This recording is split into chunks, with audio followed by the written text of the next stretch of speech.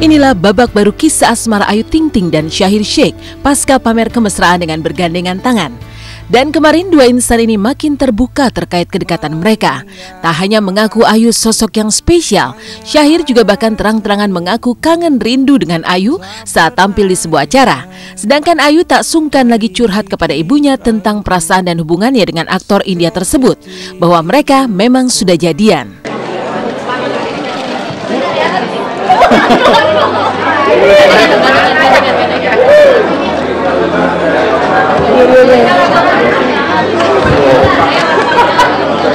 es que el micro Pero digo,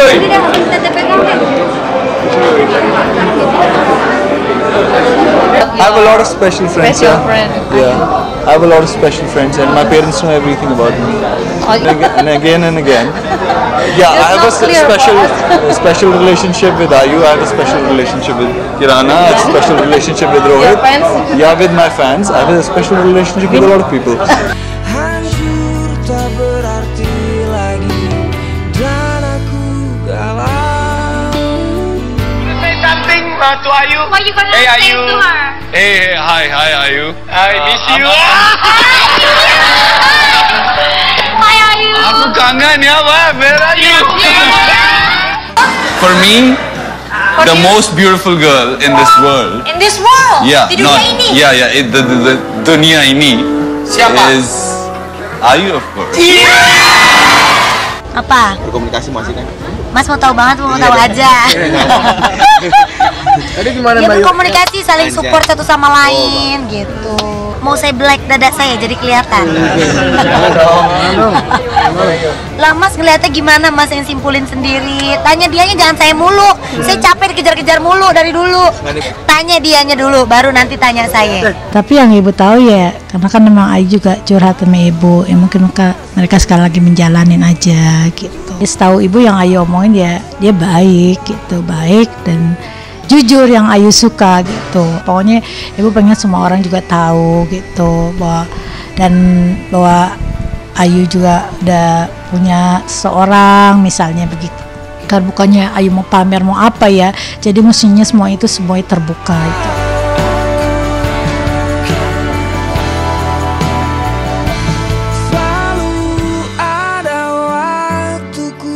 Dan bukan hanya berani mengakui rindu dengan Ayu, Syahir juga makin dekat dengan Bilkis anak Ayu. Kini setiap Ayu mengajak serta Bilkis, Syahir tak sungkan lagi untuk menggendongnya. Perhatiannya begitu tinggi pada Bilkis. Mungkin benar kata pepatah, untuk mendapatkan hati wanita yang telah mempunyai anak, seorang pria harus bisa merebut hati anaknya dulu. Kini hati Ayu telah ditaklukkan oleh Syahir.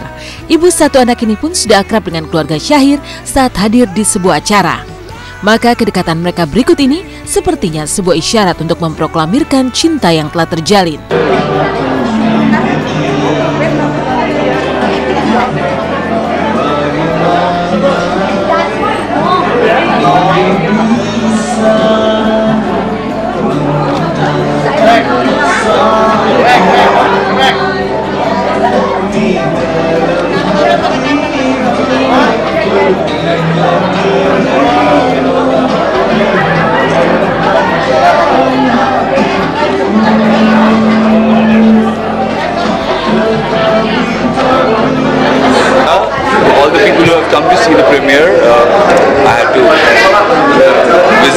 Myself, talk to them, ask them how did how did they like the movie and everything. And all my friends are coming, almost everyone. Yeah, they always support me. Alhamdulillah, from the very beginning, they have always supported me in whatever I do because they believe in me.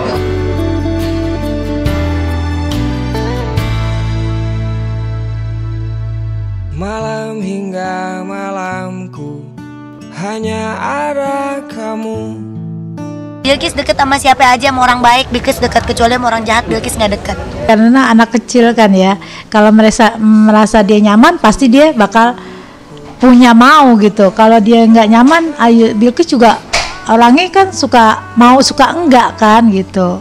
Yang ibu lihat sih setiap mau digendong ya mau anaknya. Kalau digendong ya dia selalu mau yang ibu tahu. Jiwa anak kecil kan nggak bisa dibohongin.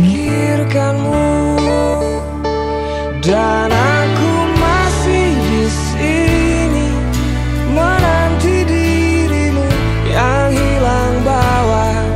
Kedekatan Ayu dengan Syahir memang disambut hangat oleh orang tua Ayu yang berharap anak kesayangannya segera menemukan jodohnya lagi.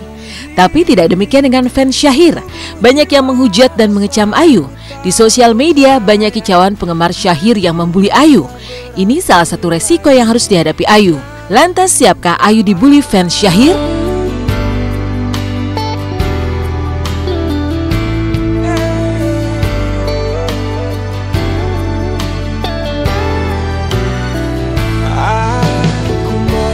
Saya mau udah kebal. Kebal ya. Saya mah mau disakitin kayak apa juga saya mau udah kebal. Insya Allah saya kebal. Ya cuman kan banyak orang yang nggak suka juga kan karena Ayu seorang janda apa. Tapi kan memang nggak boleh orang janda bisa berdekatan dengan seorang laki-laki lagi. Ngelihatnya ya kalau memang mereka emang cocok sih menurut aku apa pun pilihan mereka terserah mereka sih.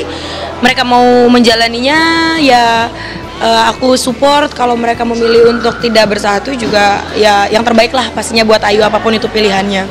Pokoknya siapa pun pilihan Ayu, semoga itu yang terbaik untuk jadi imamnya Ayu dan jadi ayah yang baik untuk anaknya. Rasa Sementara Ayu dibully fans Syahir di sosial media, Indra Brukman justru pamer foto kedekatan dengan wanita bercadar. Siapa wanita itu? Benarkah dia Soraya Abdullah yang kini memang bercadar? Ada hubungan apa sebenarnya di antara dua insan ini? Saksikan intens di segmen selanjutnya.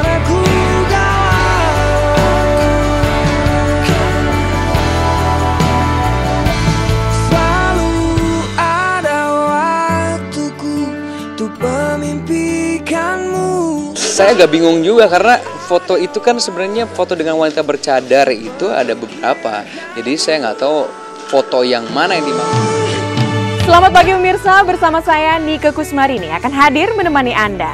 Pasca Ayu dan Syahir pamer kemesraan dan makin terbuka akui kedekatan, muncul misteri kedekatan Indra Brukman dengan sosok wanita bercadar. Pamer foto kedekatan dengan wanita bercadar. Lantas siapa sebenarnya wanita itu? Benarkah dia Soraya Abdullah? Lalu ada hubungan apa antara Indra dengan Soraya?